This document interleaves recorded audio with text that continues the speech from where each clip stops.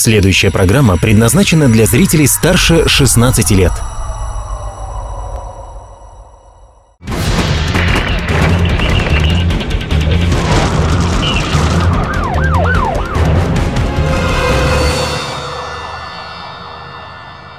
Здравствуйте, вы смотрите программу «Место происшествия» в студии Полина Зайцева. В ближайшие минуты информация о самых громких происшествиях в регионе. Смотрите сегодня в выпуске. Сын постоянно предъявлял ему какие-либо претензии, в основном имущественного характера. Ну, вот на этой почве у них были регулярные ссоры. В деле о заказном убийстве предпринимателя поставлена финальная точка. Все обвиняемые выслушали обвинительные приговоры. Они вот этот дом подожгли, мы здесь жили. Еле потушили, мы чуть не сгорели. Частный дом сгорел на улице Калашникова. Склад с мебелью сгорел в Дзержинске. В районе метромоста иномарка влетела в отбойник.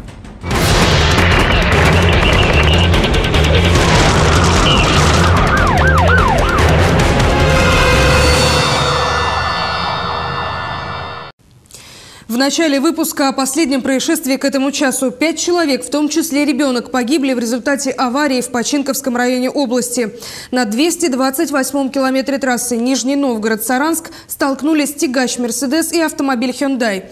В салоне иномарки находились пять человек, все они погибли. На место происшествия прибыли все экстренные службы. По какой причине произошло столкновение, пока неизвестно.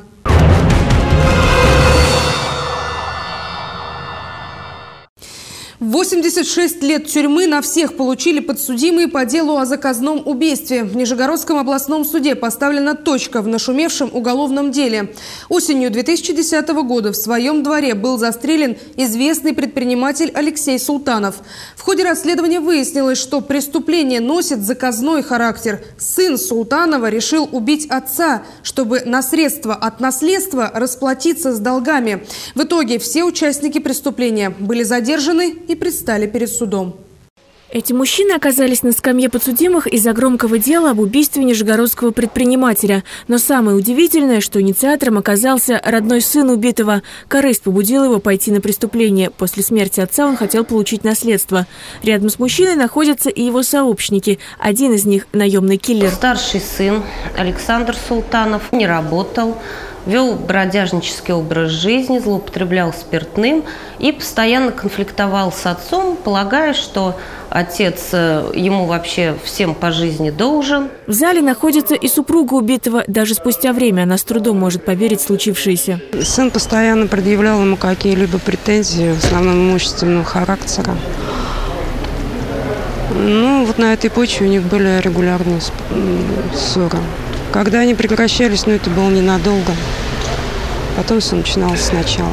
По словам близких убитого, мужчина догадывался о том, что ему грозит опасность, но поверить в то, что родной сын оказался врагом, он не смог. Угрозы такие были иногда, иногда, но я их как-то во внимание не принимал и ну, в уме не укладывал. Ну как это так можно? То есть все-таки были иногда? Да, иногда. Я тебе самое я тебя наставлял туда-сюда, вот так вот. По материалам дела убийство произошло в 2010 году. Сообщники подбирались по принципу знакомства друг с другом. Всего группа насчитывала шесть человек. При этом, чтобы найти исполнителя, был вызван знакомый из Молдовы. Предлогом для начала разговора стала работа на стройке, но быстро перешли к необычному предложению – убить человека. Заработать по работе строительства, и тут же, как говорится, Чего не рискнуть убить за деньги кого на то, чтобы обдумать предложение, ушло всего несколько дней. Каждому из сообщников предлагались различные суммы, выплатить которые планировалось после получения наследства.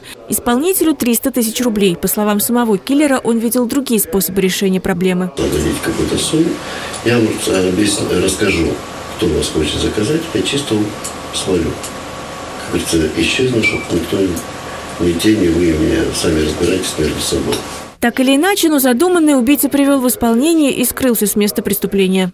Он начал хамить, полез драться, я начал стрелять. Ну, сколько выстрелов вы произвели? Более точно я вспоминал, что даже переспрашивал. Пять. На шестом пистолет заклинил.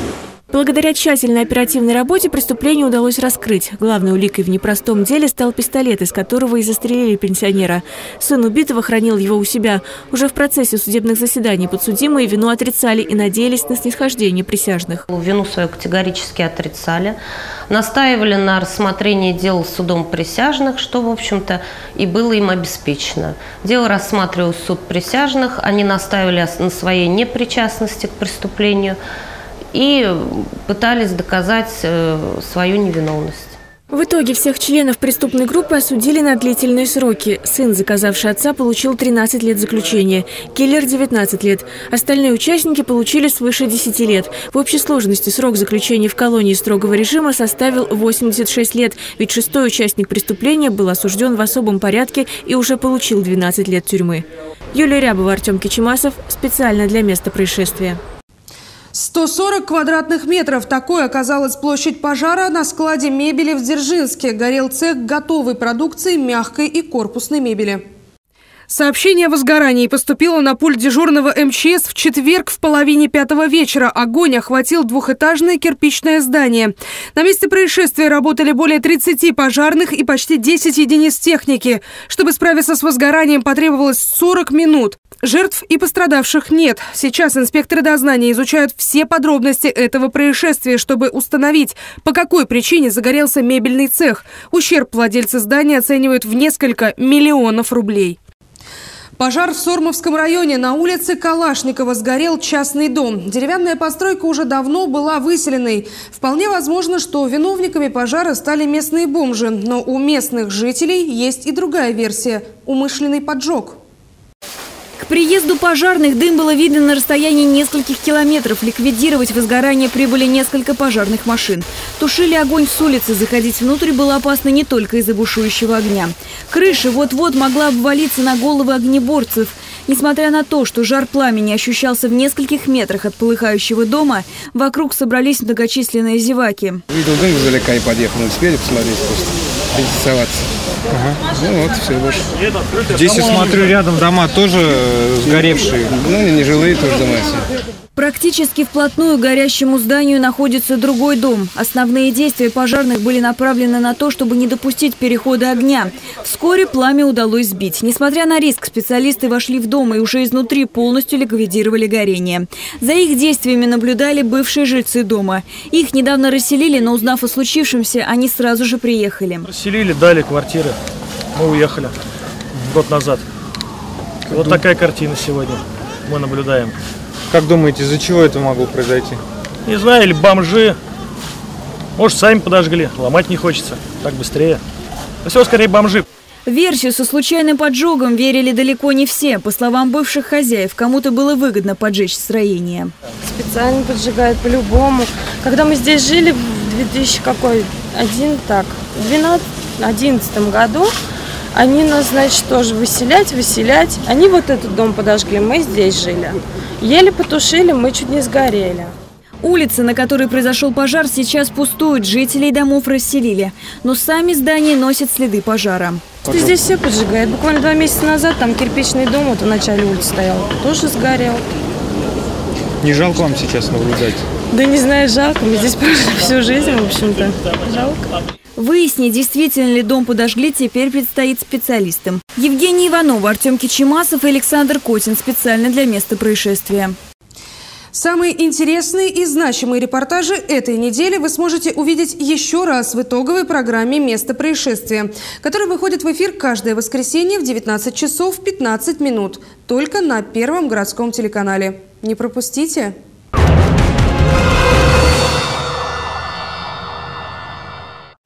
Авария на подъезде к метромосту. Водитель Форда не справился с управлением и машина влетела в отбойник. Около двух часов дня на метромосту молодой человек не рассчитал свои силы и врезался в отбойник, в результате чего его автомобиль получил серьезные механические повреждения. Как утверждает водитель, его подрезала иномарка. Номеров он не запомнил. По счастливой случайности в момент столкновения дорога была свободна. Молодой человек пояснил, что за рулем он всего второй месяц. На место аварии сотрудников ГИБДД водитель Форда вызывать не стал. Его машина застрахована на такие случаи. Отойдя от стрессового состояния, молодой человек дозвонился до друзей, которые ему и помогли эвакуировать разбитое транспортное средство. На этом пока все. Если вы стали очевидцем какого-либо происшествия или преступления, звоните по телефону нашей редакции 212 9112 или пишите нам в интернете. Адрес электронной почты программы указан на экране. Эфир продолжит служба новостей «Город» с Дмитрием Сорокиным. Оставайтесь на Первом городском.